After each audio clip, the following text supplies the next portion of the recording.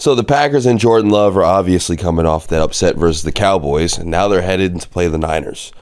So with your lack of your lack of faith in Brock Purdy, you probably think there's a chance they could upset them, correct? You know, what if they come out there, you know, score a Uh, touchdown immediately? I don't really Brock think Purdy's so. playing from behind. No, No, I, I Copy. don't think so. so. you think Go Brock ahead. Purdy's good? Here you go. The okay, go ahead. Just keep going.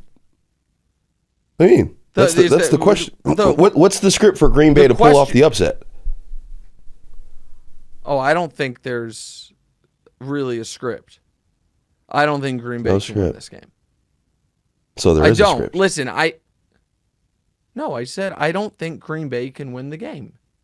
I, I, I don't think Green Bay can win the game. There I the Yes, you're right. I'd love it if they did, but I don't think they can. I would be shocked, really shocked, more shocked than Green Bay beating Dallas if Green Bay were to win this game. I don't think the Green Bay defensive personnel can deal with the Brock Niners offensive personnel. No, Copy. again, I the, the I don't eh, I'm not going to. I'm not really interested in continuing a 5-month long Brock Purdy argument. I'm not. If people watch like the we could have been having the same exact argument about Tua. It's the same thing. I, I'm not interested in having the argument.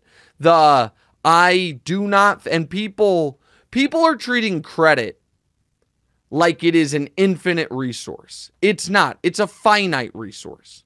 And so people want me to give Brock Purdy more credit. But I view credit as, like I said, a zero sum game. In order to give to someone, you must take from someone. And so I, when I look at the Niners, I just look at a bunch of people who are, you know, first up at the credit pie before Brock Purdy. Kyle Shanahan, Christian McCaffrey, Aiyuk, Deebo, a lot of guys.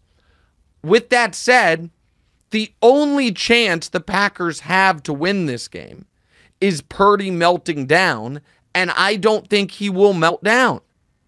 So if is that credit? I don't know if that's credit or not.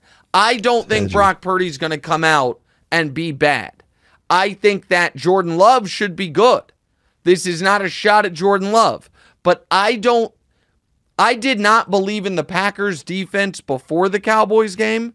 I don't believe in them now, even though they played well against Dallas. That to me was more about Dak melting down than it was anything Green Bay did.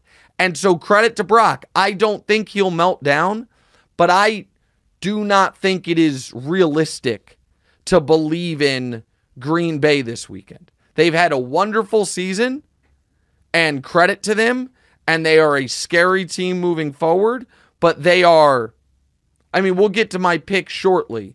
They are near 10 point underdogs for a reason.